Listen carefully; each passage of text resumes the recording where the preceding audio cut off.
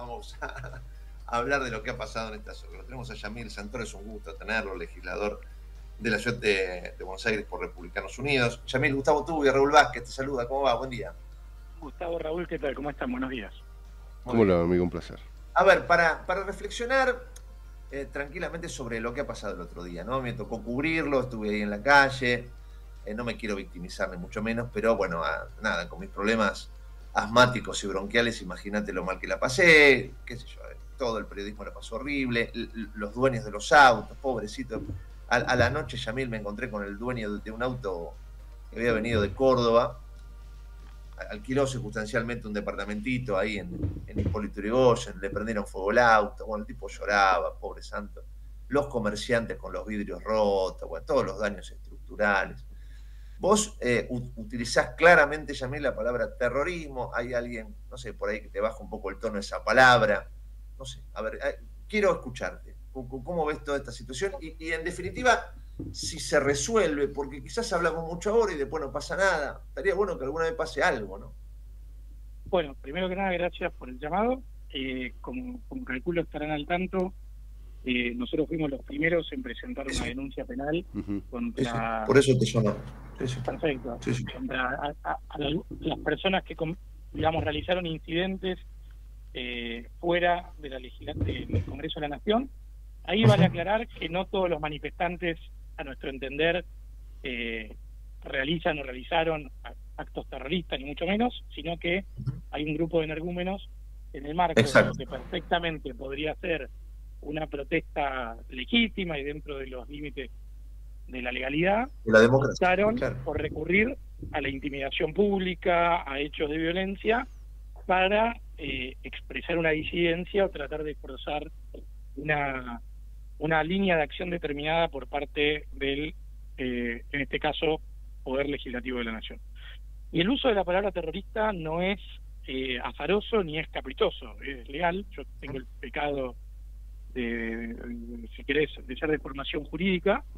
En esta línea, de hecho, hay un proyecto de ley del propio del propio gobierno kirchnerista en su momento que modifica el Código Penal y agrega la figura de agravante para los delitos que justamente se cometen con la intención de hacer que un poder del Estado haga o deje de hacer eh, determinada cuestión, ¿no? Y este acto de intimidación pública tendiente a eh, forzar una acción o una omisión por parte de otro, eh, tiene esta calificación jurídica y terminológica.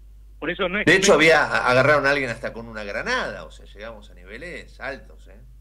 Totalmente, totalmente. Y por eso me parece importante, digo, si bien la palabra es fuerte, lo, tengo clarísimo, y no me genera ninguna gracia y no lo hago desde un lugar de tremendista ni de provocación, digo, me parece que si hay personas que creen que causar daños a las personas o a las cosas es una forma legítima de, digamos, de plantear una disidencia con determinada posición política, la que fuera, ¿eh? digo, eh, tendría exactamente la misma tesitura si el gobierno fuera de otra denominación política.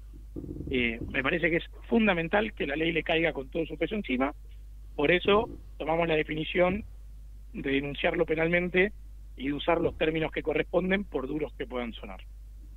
Por supuesto la pregunta, Yamil, es porque, a ver, si, vos consideraras que esto no sirve para nada, no lo hubieras hecho, no, te hubieras presentado vos y los tuyos en esta, en, esta presentación judicial. Pero vos crees que ahora sí la justicia puede tomar cuenta y realmente avanzar. Te pregunto esto porque otras veces pasaron situaciones similares y no se avanzó. Bueno, primero que hay un cambio de gobierno, ¿no? Eh, y, hoy tenés 35 arrestados, que de hecho tengo entendido que, hoy van a empezar a tener las indagatorias frente a, a, a Servini de Cubiría, que es la, la, jueza que tiene a cargo esta investigación en Comodoro Pi, con el fiscal Stornelli.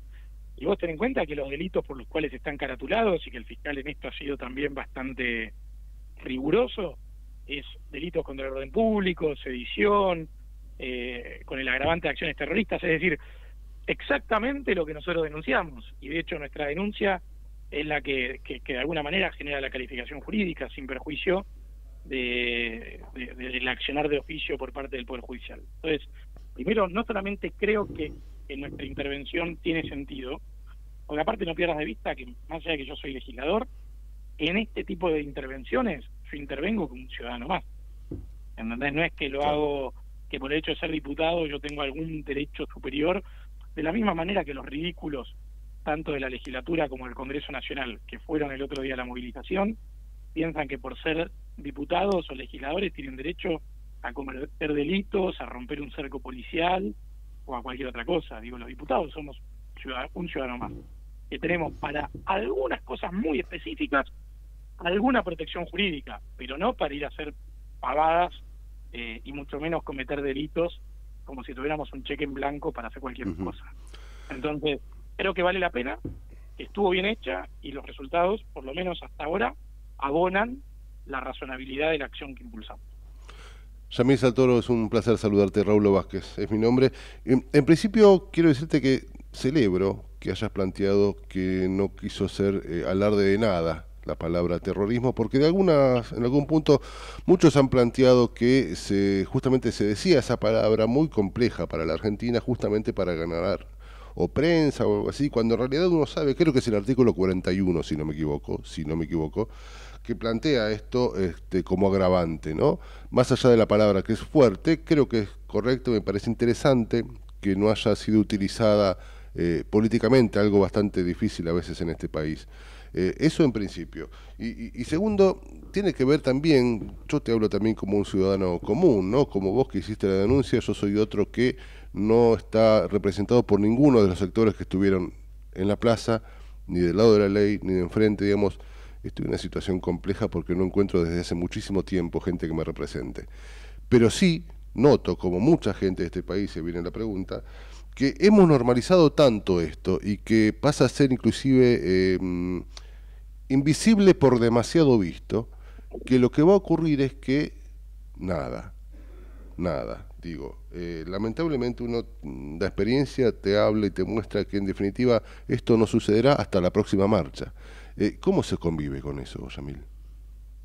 Bueno, a ver, primero para ratificar lo que vos planteaste, efectivamente eh, esto del terrorismo está contemplado en el artículo 41 mm. inquies, con lo cual, eh, y justamente lo que plantea es que se agravan las penas cuando hubieran sido cometidos con la, con la finalidad de que las autoridades públicas nacionales hagan o dejen de hacer determinada acción. Y esto es importante entenderlo, porque durante demasiado tiempo hemos normalizado en Argentina, y de hecho ayer me lo vino a plantear en el recinto, después de que di un discurso muy duro uno de los diputados kirchneristas que me dice, vos no podés celebrar la represión. Le digo, no, mira, yo no es que celebro, yo celebro que se haga cumplir la ley. Digo, y en ese marco, en un país que tiene corrido el eje y donde se han normalizado los excesos eh, de, muchos tipos, eh, no solamente en las protestas, digo, para justificar eh, tal o cual acción o justificado en tal o cual motivación, digo, de golpe que estemos en un camino de recuperación de la razonabilidad y del imperio del derecho por sobre las cosas, digo, me parece muy sano. Y eso lo voy a celebrar siempre. Ahora, a veces eso tiene forma positiva y si querés eh, alegre, y hay veces que muestra su cara ingrata como es tener que ponerle un límite a determinada persona y a veces es con el uso de la fuerza pública. y, creo que está bueno entender esa diferencia porque no es que hay una cuestión sádica de fondo donde uno se alegra de que le den un palazo a alguien, digo, como si fuera una cosa medio morbosa o maliciosa, sino que tiene que ver con cómo entendemos determinadas personas que funcionan los países o que, o que funcionan los países que funcionan bien. Entonces, desde ese lado sí celebro el accionar de las de fuerzas. Ahora, vos sabés, Yamil, eh, insisto con esto desde la experiencia personal de haber estado ahí en el medio de la cuestión, porque estuve desde que arrancó hasta que terminó bien tarde, y reflexionaba en, en el editorial de la mañana, digo, porque ante todo esto que vos decís, te contestan diciéndote, ojo, porque hay infiltrados, y esos infiltrados son del sector de ustedes. Bueno, vos sabés cuál, cuál es la chicana al respecto. Ahora yo pregunto, si los que van a esta clase de marcha generalmente son los mismos, no te estoy hablando de organizaciones vinculadas al kirchnerismo, los partidos de, izquierda tradicional, y alguien que no está en esos grupos, te da vuelta un auto, vos tenés dos caminos, ¿no? Vos lo podés frenar y decir, che, esto es una barbaridad, o ayudarlo a prender fuego. Digo, si vos lo ayudás a prender fuego, ¿dónde está el infiltrado? ¿No? ¿Se, entiende a dónde voy? Digo. 100%, mira, yo, yo estuve bastante vinculado al tema de la organización de los cacerolatos allá por el 2012-2013. Todos los que estábamos con la movida de la organización estábamos muy atentos durante las marchas para identificar eh, o infiltrados o, llamémoslo, personas con iniciativa pero con malas ideas. Y estábamos permanentemente apuntando a desactivar cualquier cosa que pudiera eventualmente leerse de una manera equivocada. Entonces, abonando lo que vos estás planteando, ni siquiera quiero, quiero darle valor a la ridiculez esta de, de los infiltrados. Pero si vos realmente querés hacer una manifestación, y, y, no es que gente que manifiesta por primera vez, digo, ni mucho menos, digo, perfectamente sabés armar un cordón, perfectamente sabés cómo poner un par de personas supervisando. Cuando ves a alguien con una gomera, con un cascote, con una lanza, con una... Digo, perfectamente sabes cómo desactivar esto. Entonces, abonando lo que vos decís, por acción o por omisión, por complicidad o por, por, por dejar hacer, digo, son responsables de lo que pasó ayer. Y que también quiero separar, digo, hubo mucha gente ayer que legítimamente fue a manifestar en contra, ayer, en contra de algo que no estaba de acuerdo. Está fantástico. Yo a esas personas lamento que les haya tocado vivir una mala experiencia al lado de gente que lamentablemente tiene una conducta antisocial. Pero digo, es el problema de cuando uno va a manifestaciones, digo, multitudinarias y cuando hay mala organización, pasan estas cosas. Y creo que también debe servir de antecedente, digo que ya es un país que no se deja psicopatear eh, por, por, por minorías ruidosas, por gente que ahora hace quilombo en las calles, digo, y a futuro, o esa gente va a dejar de movilizarse porque va a tener quilombo judicialmente cada vez que, haga alguna tropelía de estas, o creo que la propia gente que va a la marcha con otro espíritu y con otro tenor va a empezar a poner límites para que la cosa no se desmadre. Las dos cosas creo que van de la mano. Sin duda, vos sabés que eh, yo soy testigo porque lo vi y me indignó hasta, hasta, la locura cuando muchos corrieron, un grupo determinado corría por Hipólito Yrigoyen, la policía se venía encima y agarraron, había un muchacho, Yamil, pobrecito, un hombre en situación de calle durmiendo en un colchón. Lo corrieron del colchón, usaron el colchón y, su frazada para prender fuego un auto que dieron vuelta. Todo eso delante de las cámaras de televisión. Entonces digo, epa, epa, esto ya estamos en un límite. Y después tenés lo que te decía, ¿no? ¿Quién va a pagar todo esto? Ahí, había un, hombre que, junto a un grupo económico vinculado a la hispanidad, estaban reflotando un viejo bar histórico de la ciudad de Buenos Aires, Avenida de Mayo, poniendo mucha guita, vos sabés que están bastante decepcionados allí los comerciantes porque, claro, eh, hay tanta marcha, tanto problema en la Unidad de Mayo que se está facturando menos. Pero esta gente apostó. Le, destruyeron el local. Digo, ¿quién le paga a esta gente? Ya, eh, por lado, ayer justo lo estaba hablando con el ministro Roberto García Moritán. La ciudad de Buenos Aires eh, va a estar llevando adelante, entiendo, un operativo para tratar de por lo menos a los locales afectados por este tipo de protestas, ayudarlos a que puedan volver a, estar en condiciones, pero también, y esto ya te lo digo más como liberal, no es lo que corresponde, o sea, no es el rol del Estado, y mucho menos del Estado porteño, el de tener que salir a, agarpar o a, subsanar lo que destruyen una manga de estúpidos pero, y de antisociales. Lo que debiera pasar es que la justicia, siendo que hay flagrancia, accione con la máxima celeridad posible ya que estos hijos de puta paguen la cuenta. Digo, en algún momento se tiene que empezar a terminar la joda y tenemos que lograr que que las haga las pague. Porque si no sabes qué termina pasando, la limpieza entre lo que se rompió y toda la mugre y toda la historia son como 400 millones de pesos que, que terminan saliendo. Esto sin hablar de la restitución eh, o la, los arreglos que eventualmente haya que hacer. Eso sale de los impuestos que en definitiva no van a seguridad, no van a educación, no van a salud, todo porque hay un par de personas que no son capaces de manejar sus impulsos de una manera civilizada. Bueno, ahí es donde, por eso creo que es clave que no solamente la, la fuerza de seguridad en el momento, sino que el Poder Judicial después accionen de manera ejemplificadora para que no siga pasando estas cosas a futuro, porque no es razonable y no es sustentable. Y ahí es donde está el tema.